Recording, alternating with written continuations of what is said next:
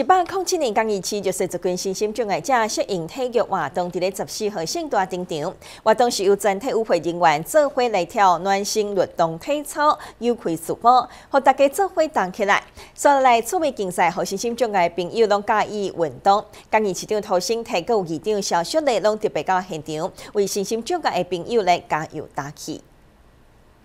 无分第一顶第一卡，大家对着音乐做伙来做暖心操，充满活力来迎接着礼拜假日。嘛为一百零七年刚二七就随着关心心障碍者适应体育活动来加快速播。为着鼓励弱势的身心障碍朋友行出户外，透过运动阻解身心压力。江义市体育会身心障碍者运动委员会特别策划弱势身心障碍者适应体育活动，精心配划趣味竞赛的赛事，和身心障碍的朋友买单享受着运动乐活的人生。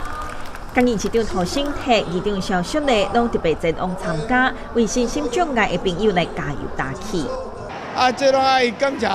咱陈连坤主委哈啊，我们呃的郑秀义副主委啊，他们非常认真的哈来举办这样的活动。这个活动非常有意义哈，不在于比赛而已，在于他们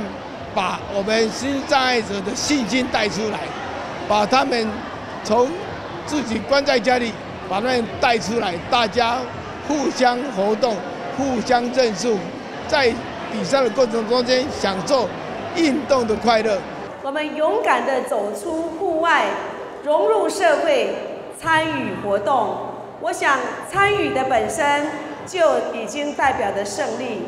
那么尤其看到各位，我们展现了对生命的热爱，我们展现了坚强的毅力。我们各位可以说不畏艰难，为自己的人生开了另一扇窗。我们看见灿烂温暖的阳光。